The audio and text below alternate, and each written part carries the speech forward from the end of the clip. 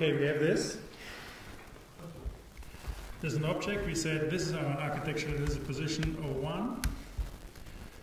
Um, this position has a certain cube. We give this cube and we say this is a red cube because it is associated with a new uh, with a color. Uh, go for the principal and get that for red. So if you want to show that material. So get a new object, move that, get a new one. We had this uh, icosaeder. Again, this is always mixed up. So what we had is, and you see it here, now we see it with position one, we have the architectural object, the design object, and then the materialization. Here, just by creating a new thing, we have the architectural object and the design object combined to make it easy. And there's no material. There's no link to uh, the data, to the material database. So, so we say uh, this is a position two. Eco, uh, uh, and then we say this is um, here this is parameter icosphere white. Then go for material and say we want to either we go for the red, then they share the same, or we say we have a, a, a copy of that, therefore material O2, and then we say aubergine and go for aubergine. And make it metallic. So, now we have these two objects, and now I want to. So we had two kinds of copy. We have duplicate, which duplicates architecture and design, not material. And we have dupli link, which copies architecture and not design and not material. So therefore you should get used to use dupli link. So which is a shift D and then we make a link. Go for um, yeah.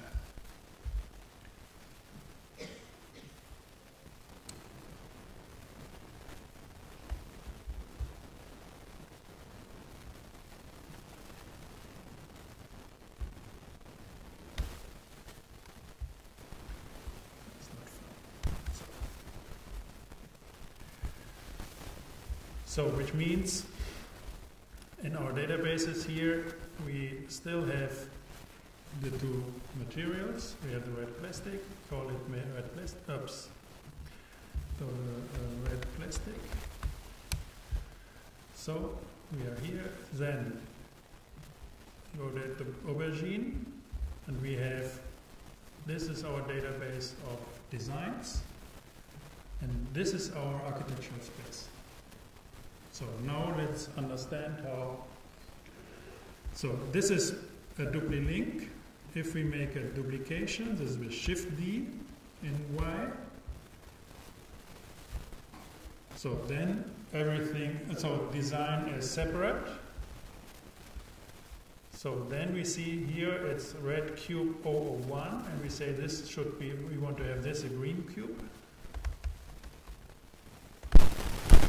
And for that, we red we want to have a copy of that and say we make a. And.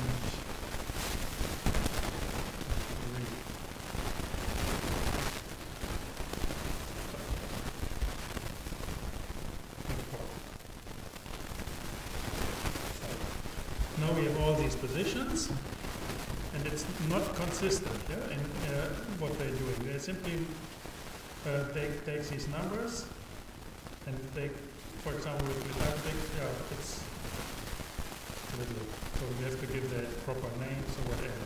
So not necessary. It's not a good idea to have it uh, just the positions and because you the positions. And so. so what we can do in architecture is organize the things. For example, these should be elements of our building. Therefore,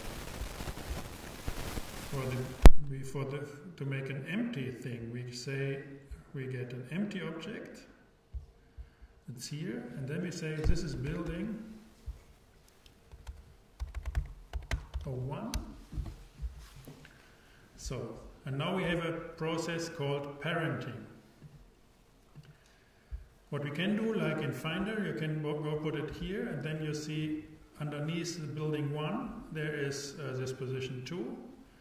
And we can, so we can simply drag it, or we can go here, and you see two different ways. These are selected, and this is active. If the parent here is selected, and these are, uh, no, these things are uh, selected, and the parent is active. And if you then say, um, I think Control P, yes, then say set parents to object, and then they move to uh, this building.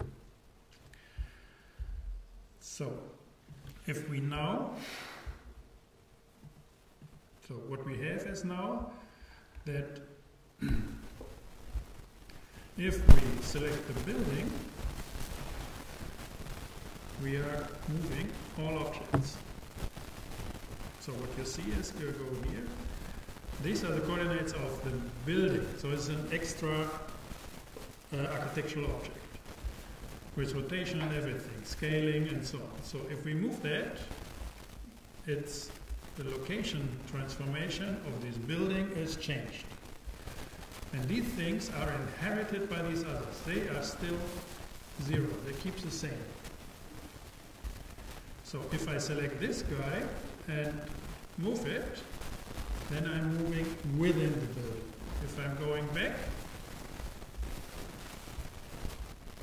I'm moving the building again. So what is done is that all these transformations in these hierarchies are inherited. So you have to take care of them. So for example, if we now uh, uh, make a new floor, then we have to be in this building.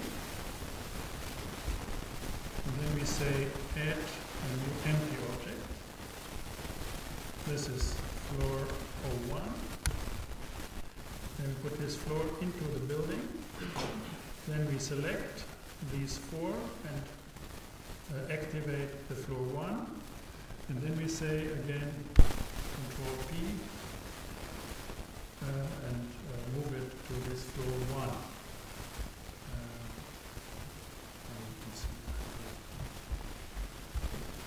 Uh, so, if I want to have a new floor 2, I have to select all this. Selection is like this. If I select this floor, either can select the whole set, but it's a little complicated. If I want to select it here, then I can say Shift G, and I say select all the immediate children. Then all the children are selected, and I select addition to the, the floor itself, I have to take care, so take care that it's like this, and then makes this duplicating. So it's, uh, it's uh, option D. And now I have the floor 2 with the whole stuff. So it's floor 02. If I now go for, uh, for uh, these coordinates, I simply can change the floor here to 2 meters and then put it 3 meters, then there. And they all are linked. Which means if I uh, if I go in here and edit that, the thing is uh, edited. It's, it's edited as well. So I can uh, go G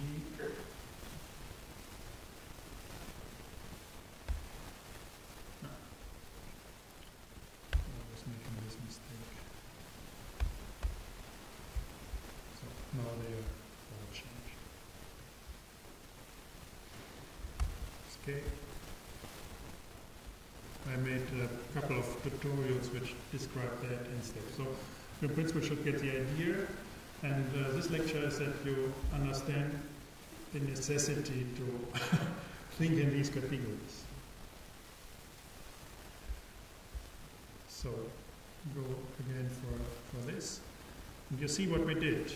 You have a certain setup, you have multiple linked objects, and then you simply change at a certain place and the system of evolving it to, a, to, to a, configuration change uh, uh, according your systematicity, to your, uh, to your the structure uh, you organized, which is not visible, but in its render.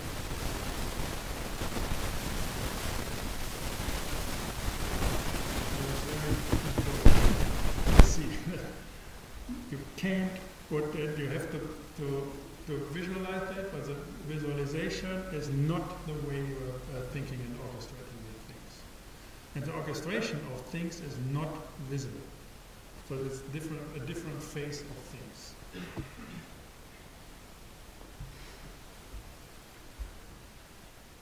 Good. This is about, so now it's, it, oh, it's clear. So if I'm uh, Uh, now moving the, the second floor, now I'm moving the whole building. That's it. And I can go for the color. Then I get the green color and make them something else. Make them metallic. That's it. Very clear and simple structure. And the yeah, the, the yeah, little annoying fact is that it's not easy to keep track on these structures, how these things actually work. So the interfaces are simply suggesting other things, and they have to always get improper structures and publication. So if you get a 001 accounting somewhere, you made a mistake. Because then you have redundancy. If you want to change it, you have to set, change all your copies. Don't do If you don't have a name for it, there should be not a copy. There have to be, there should be a link if you don't have a it. To material, design, and to documentation. So now, these are the concepts here. There's another important concept you always have. This is on structures on hierarchies, and this is on these are layers. This is on uh, um, this is on the, the, aspect of design. So this is, for example, you can say, I just want the furniture on a certain floor, or I just want to have the second and the third and the fourth floor separated and so on. Or I just want to have the construction or the facade. So these are aspects of design. So you don't organize it here. So these are the different, um, this is the uh, belongings. So where these are the groupings, so these you say these are all the parts of a certain floor in a certain room and so on. This is here. Then you have the other structure, this is here with the, with the meshes and so on. You have the databases, which says how to produce it, whatever it is, however it is organized in space, how to produce it, which is also with the organization in space. So this is organization in space, this is the organization of the production in a structural way. So these are the aspects of showing it, nothing else. So what we, for example, can do is we can say we want to have all these, take the floor and then shift G.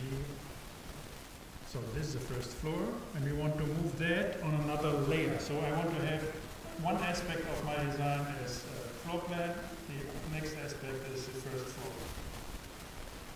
So these are called layers and with M I can say these selected objects should be on layer 2. So this is how you move with M.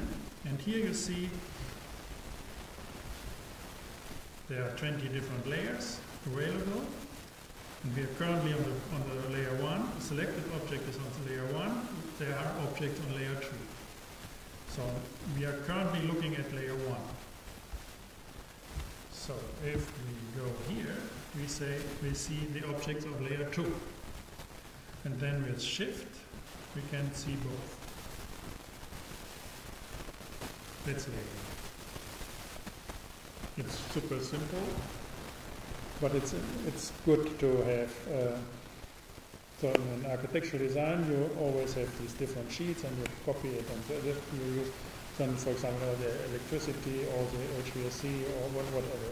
So the ducts, uh, then all the uh, uh, the finishing, so whatever. So you always have these layers, and you switch them on and off of your building. Good. Now let's uh, go for use the layer for your environment. That's very interesting as well. so, next step is how to how to get a good uh, rendering for the plane. That's uh, the uh, is here. This should be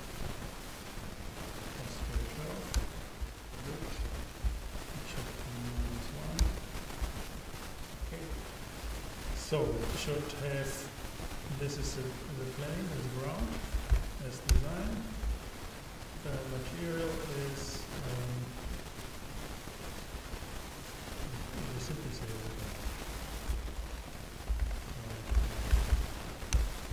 So give all this a name. This is the ground. Now, keep an eye that this is the Cycles renderer, which is these um,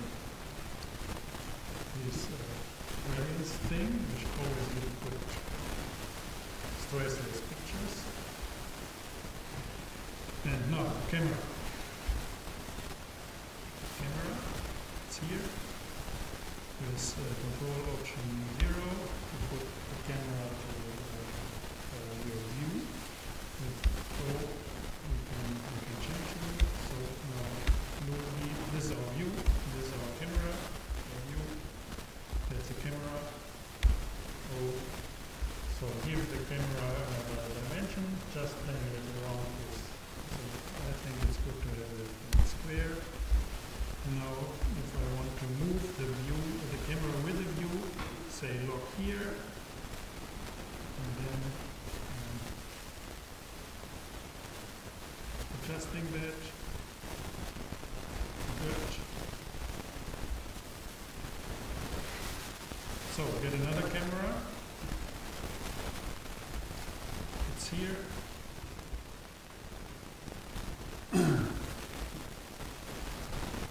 Say this camera here is uh, side view. The second camera is uh, top view.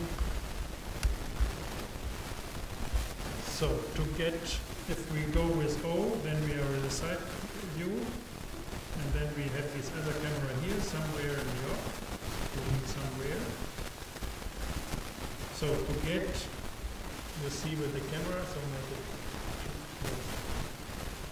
so these are the two cameras. And here is this icon, this is the active camera and this not. So if I want to have this active camera, I go here for view cameras and say say active say the active object as camera And then we're moving to this camera block. Now, and we have the second view as the active camera. Now we go, let's set our view to the top.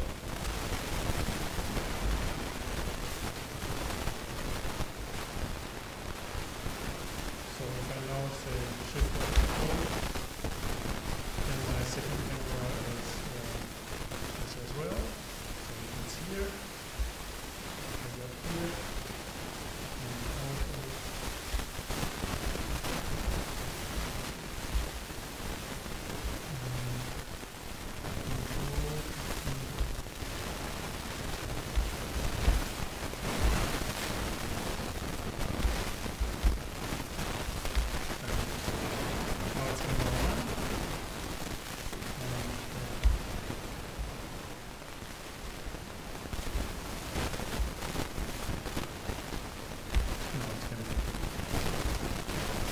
this.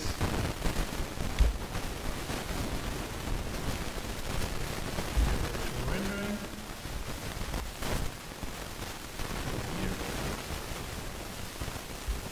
The light is currently just with this world, and the surface as a, uh, a little white with a very low intensity. So we can add the sun.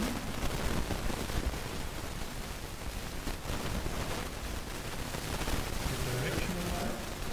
Now it's on the top. So we can extend it.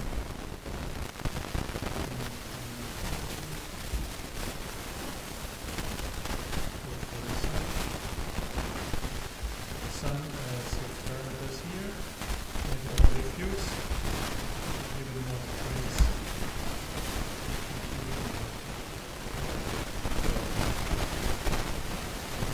So, problem now is that if I go here for this layer, I don't have rendering. If I go for this one, rendering because cameras and light are on this first layer and the second layer is not.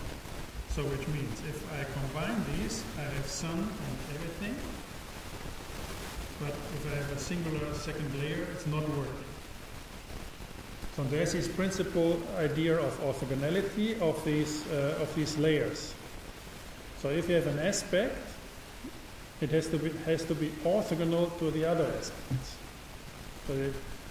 So, and because this uh, light and uh, and the camera affects the other layers, it has to be a separate one.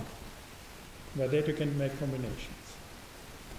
Which means we go here, the proper setup, we go here, say we take the sun, we save the ground, we set the side view, and we set the, the top view. And move that, for example, to the last layer. So this is, now we have objects at the last layer. Is it like that?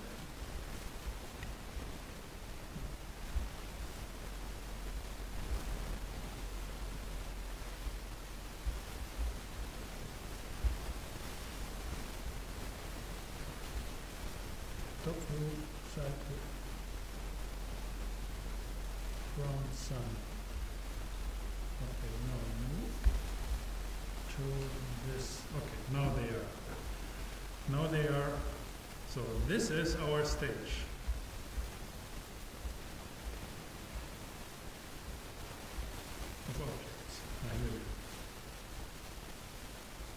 So this is our, our stage.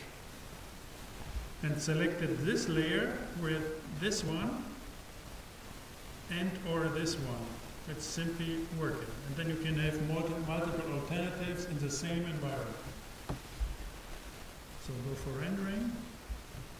Here you see it's working. Both or single. If you want to have another rendering, keep it up. Or another environment. So this is how layers are working.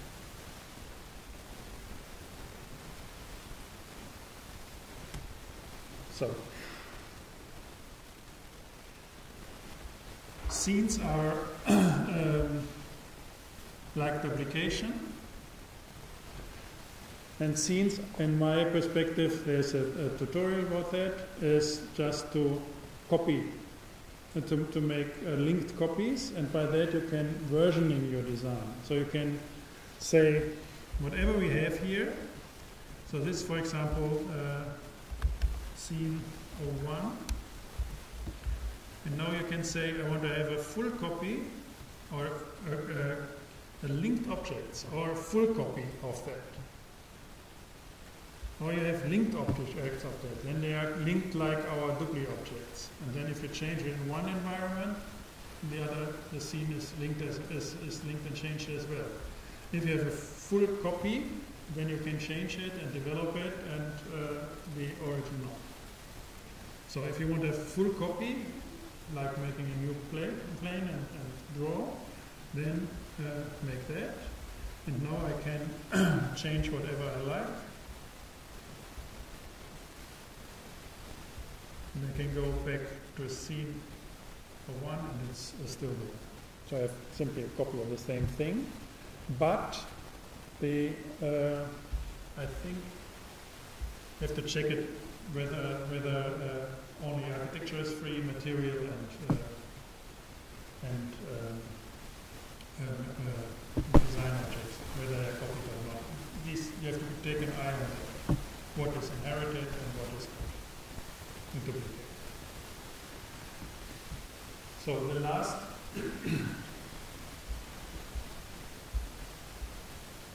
Yes. The last thing I want to show you, there's more, we can do it. so what we have here is these two floors.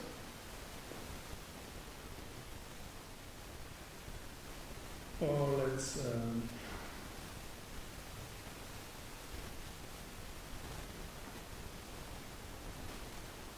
I think it's it's more important to, to get an idea of how to get different versions of uh, and, and levels of details of your design. So let's uh, start start anew to give you an idea how it. Um, so I say these are my prototypes. So this is my library.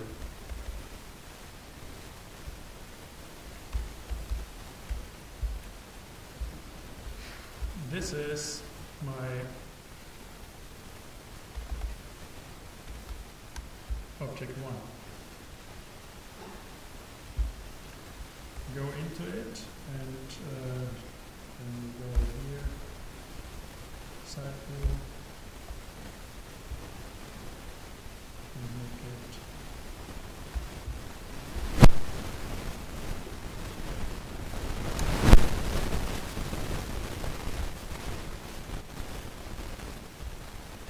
So this is object 1.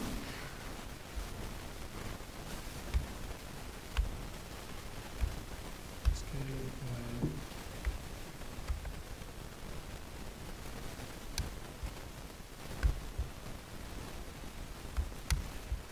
Okay.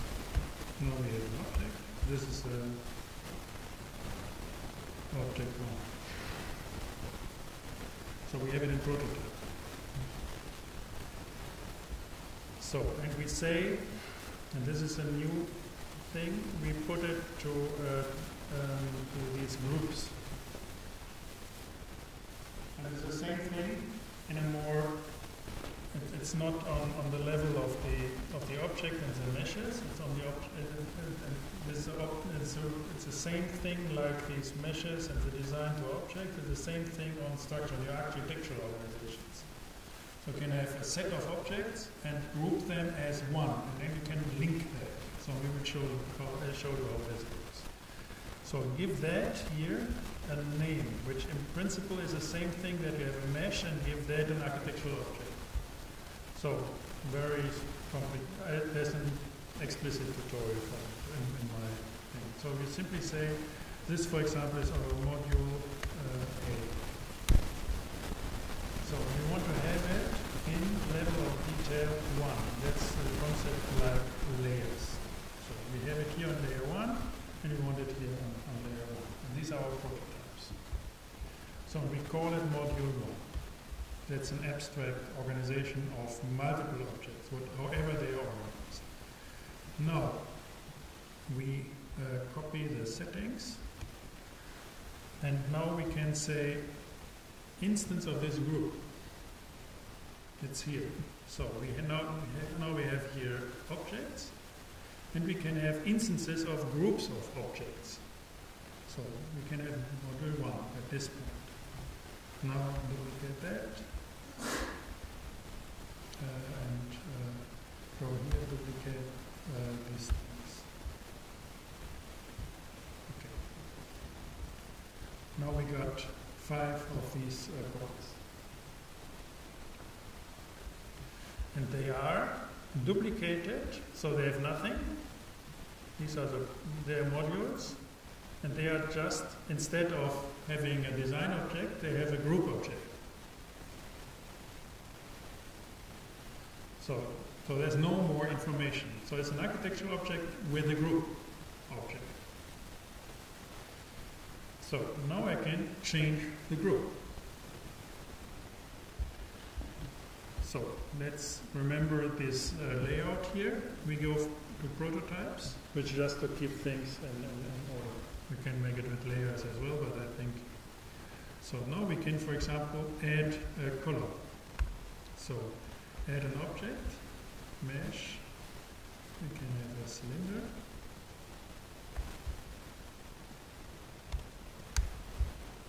Now we go in and scale it by point one. Side. Scale Z by ten. Okay. And move this up here. And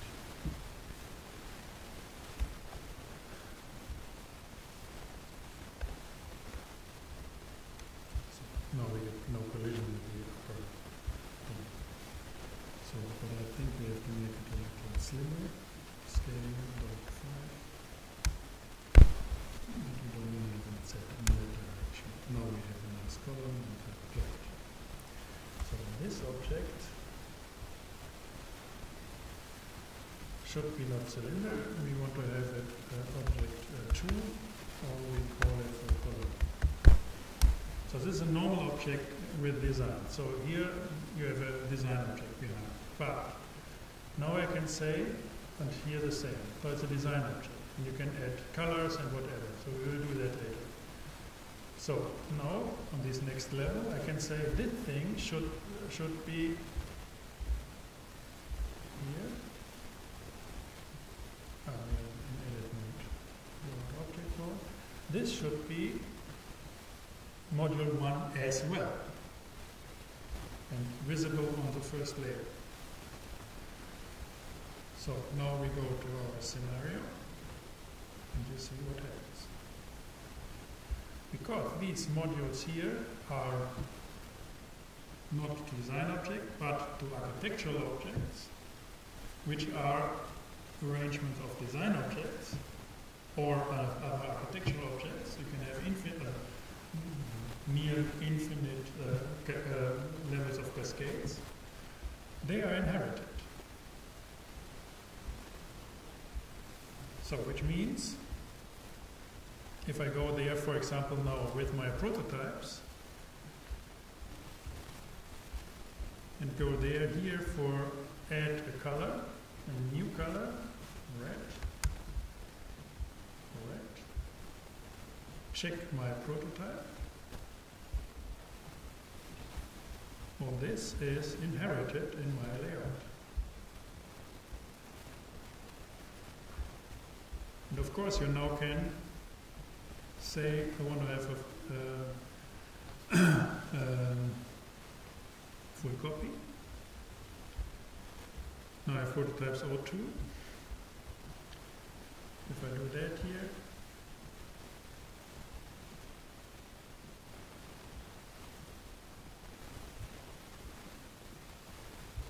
another design.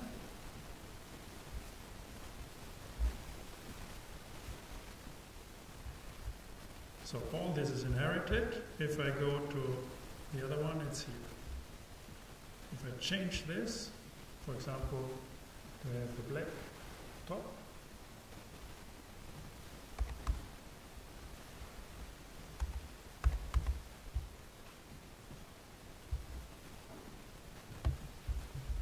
it's inherited in prototypes and in the other version.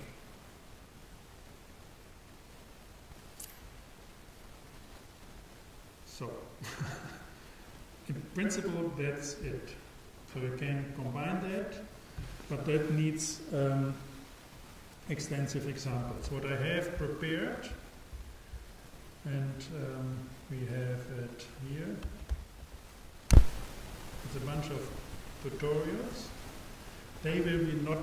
They will not be examined because it's just a kind of background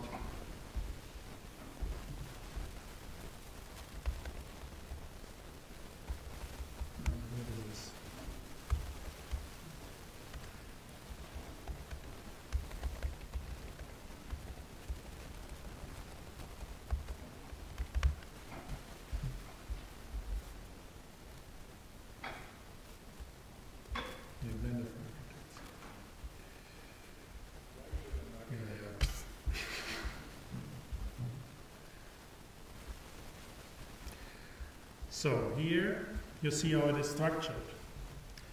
So we had these mesh edits. This is uh, about uh, design. This is how to do all these design, to, to create new design objects. You normally don't have it, you normally get it from somewhere. So look how it, it, it's working. Then we have path. This means uh, design object along a function. So you have curved things about path. So there are a few of that, tutorials about that. And here now about model structure. This is what I talked about.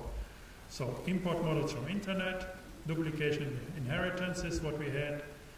Uh, then use your own documents, what you did, as libraries.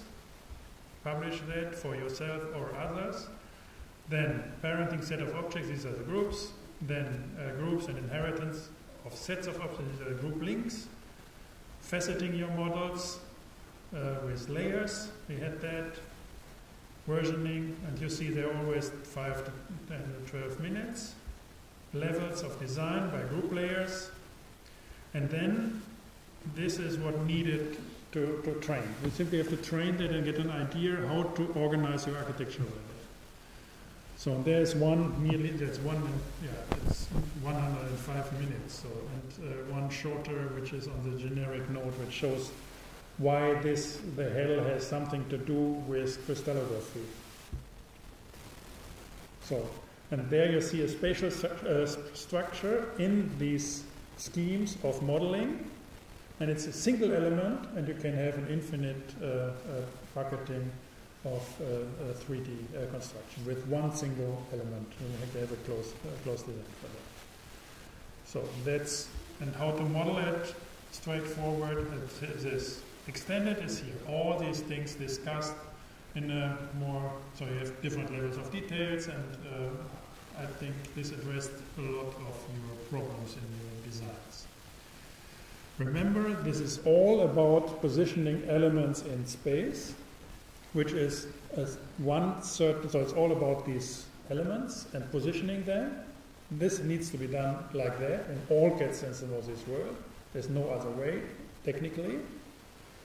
You can combine these principal tools in a different way. So, but I think you have to share the designs, you have to share the materials, and you have to create your architectural bonds.